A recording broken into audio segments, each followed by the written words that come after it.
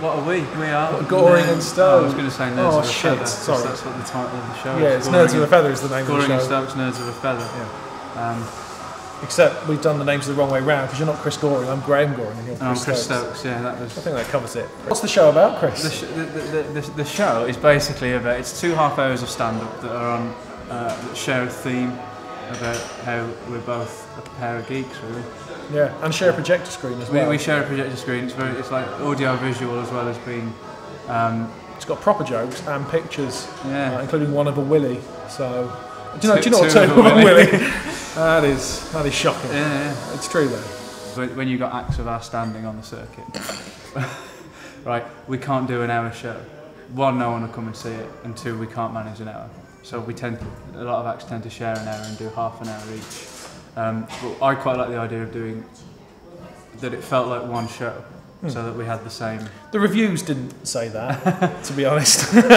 but yeah, we think it's one show.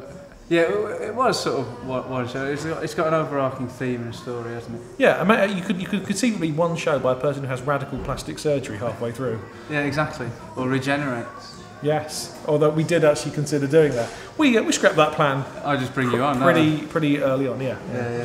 What drink would you buy Leicester Comedy Festival if you were to buy it its first drink? Uh, taboo and Coke. Yeah, because it. Yeah, the reason being is that I was introduced to that at university as a joke because you're supposed to drink it with lemonade, aren't you? And they, they, they said to me, they were like, "Oh, I'll give it to Chris," and joke was on them because it's lovely. Uh, tastes like Fruit Pastilles. I would I would buy a top row and then laugh at it as it was sick in a gutter. what other acts would you recommend people see in Leicester, Chris? Um, at the festival, the 18th Leicester Comedy Festival. That's drunk on top row. Yeah. Uh, I'll, I'll have. Um, I don't know. I, Paul Foot is, is is here for three nights towards the end. He's brilliant. Uh, But you I, like. I could guess at acts that are here. I haven't really scoured. if you guess right, and I'll say whether they're here or not. Oh, okay. Is um, is Stuart Francis here? No. Oh, he would have been a really good one Yeah, to get yeah, he's, he's really good. Um, is, is Tony Law here, who I saw yesterday and very much enjoyed? Tony, Tony Law is here, yeah. Oh, Tony- so Tony- he's yeah, on directly after us. You won't Law. see that either, unless your editing skills are, particularly Mac Daddy. Mac Daddy. Happy.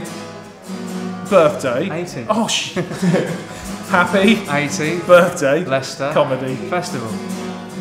Do we kiss now? No, that's the end of our partnership.